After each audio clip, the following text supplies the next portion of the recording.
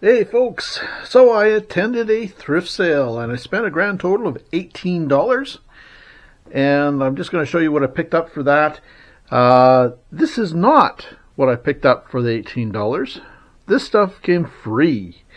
So I'm going to go through it quickly and let you know kind of what uh, the reasoning was for picking it up. So we'll go from there. Um, yeah, there was uh, something like four or five boxes of stuff outside for free. So I picked through it while I was waiting. And yeah, so let's go through it quick. obviously, Old English uh, lemon oil. I used tons of that, so that was great. That saved me probably, I don't know, I forget what the stuff cost, 8 bucks, 12 bucks, something like that. So that was good. Pick that up. and a lot of this silver plate, uh, a lot of it can be brass or copper. So despite it not selling well at all in the store, I pick it up when it's free because I can scrap it. So a lot of this will go into scrap. Um, this is Epyon BM, which is a base metal, so it may not be copper or brass. It might be nickel, or it might be uh, a lead-based uh, product. But uh, regardless, it'll get scrapped. Um, couple potato ricers. I've had requests for these. Not sure why, uh, but I figured, well, seeing as I've had requests for them now, I better pick up a couple and I got two of them. Uh, just a tray for sorting stuff. Uh, free Scrub Daddy. I think that's what these are. Uh, anyway, for cleaning stuff. And some lamp parts. So they were free. Like I said, this all this stuff came free. Uh, Bundt pan, but it's aluminum, so scrap metal. Uh, got this Elsie dairy pail, which is collectible in itself. That's probably good for 15 bucks in this out of the shop. Some more scrap metal. Got some brass. Uh, probably, I suspect this is maybe just a base metal again, but who knows? I'll test it with a uh, file. Some more base metal or possibly copper brass. Big chunk of brass. Good good scrap there. Some copper, some more silver plate. Well, it could be brass or copper or otherwise. Uh, sifter, I get about anywhere from 8 to 12, 15 bucks for these.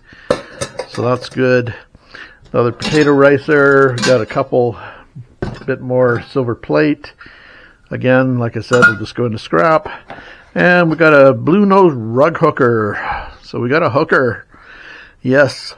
Um, anyway, including lubricating sliding parts with Vaseline.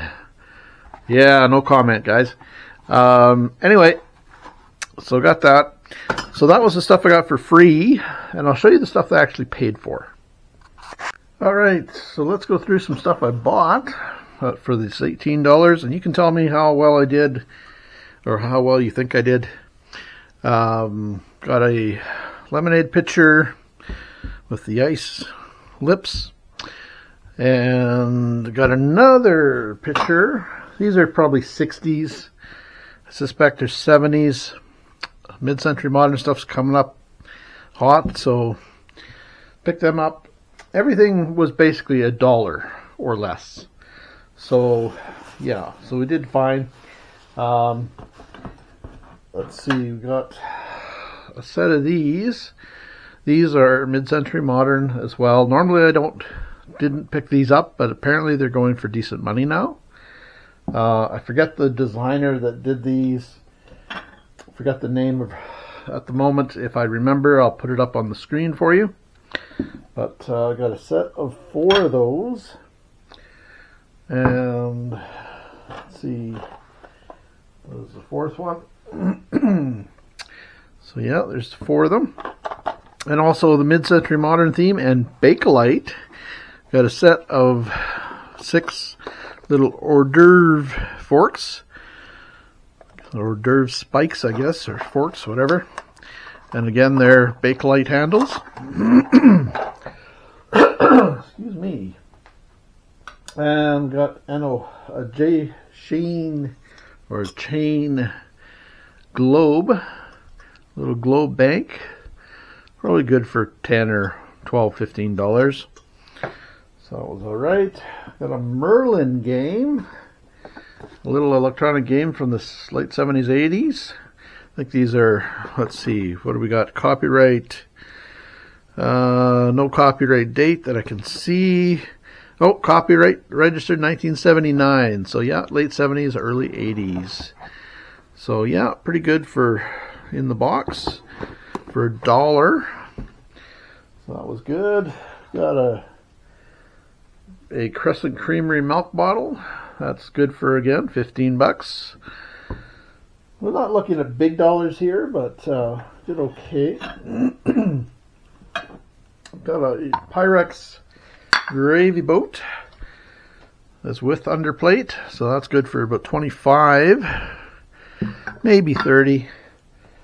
And we've got a compact right here with mother pearl top on it there.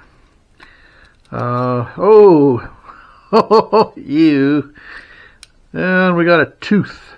Somebody's baby tooth that got saved. Ugh, yeah. Anyway, so there's the compact, little purse type compact. So that's good. That's probably good for ooh, 25 to $35 thereabouts. So that's pretty cool. Then we got a probably Blue Mountain or Laurentian pottery cat. Kind of a stylized cat. A neat mid-century modernish type figure. And we got a fairly modern, but still, Caterpillar watch fob. So promo item from Cat. So that's pretty good from Kramer Tractor Limited, Regina, Saskatoon, and Tisdale, Saskatchewan. So just a remake, but uh, probably a promo item for uh, promoting Caterpillar tractors and uh, such. And we got a little um, COF pin here, uh, Canadian Order of Foresters. I'm just checking to see if it's gold or not. So let's see, cross your fingers that it's gold.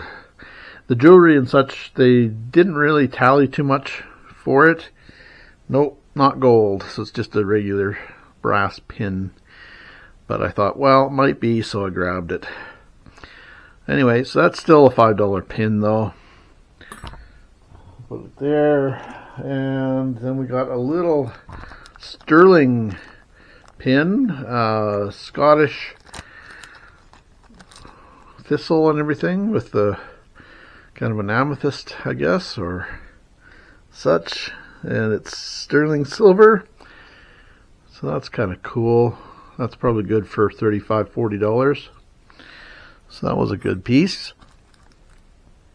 And uh, some coins.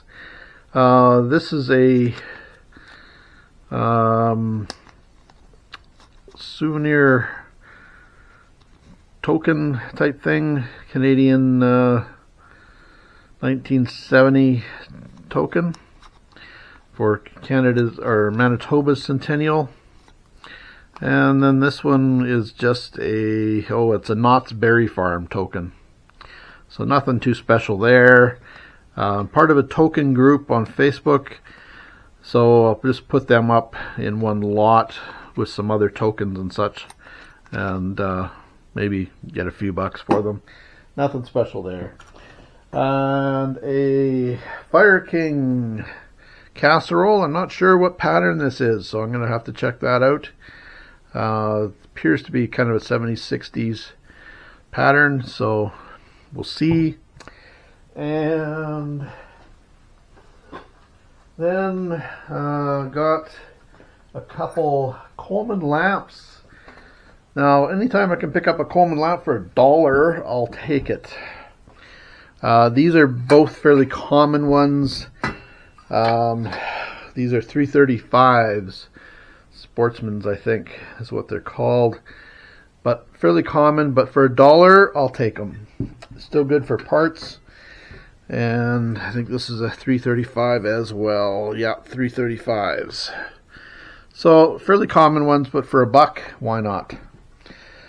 And then I did a second round after that. And I got a big uh, awl type or drill, kind of a T-shaped thingy here.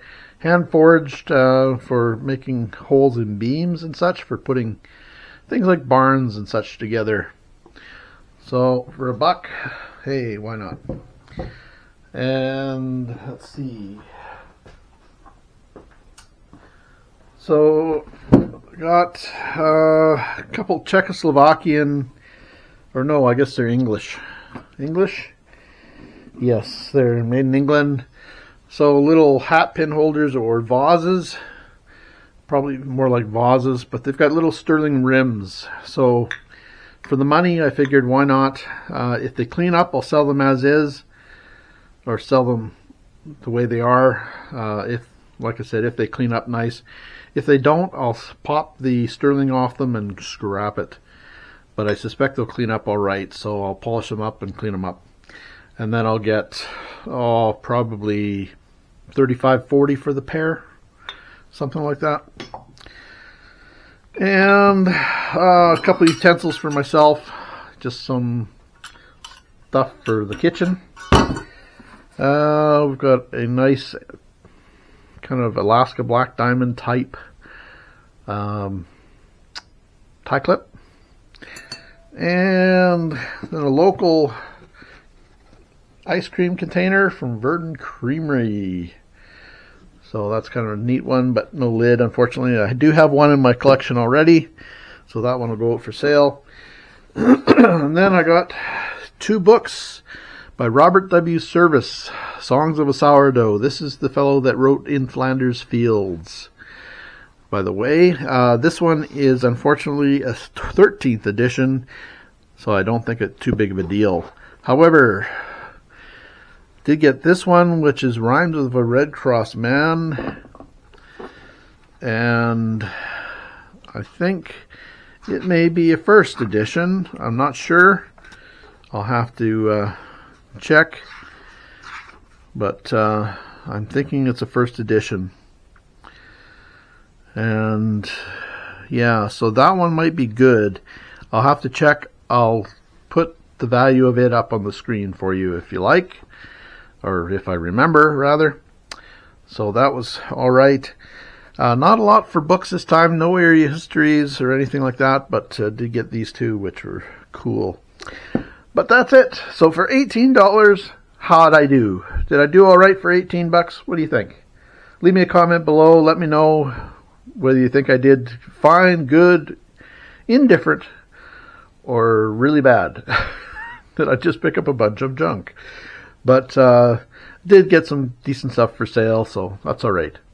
Thanks for watching, folks. Please be sure to like and subscribe and check out our other videos on antiquing, picking, thrifting, scrapping, etc. Take care, folks.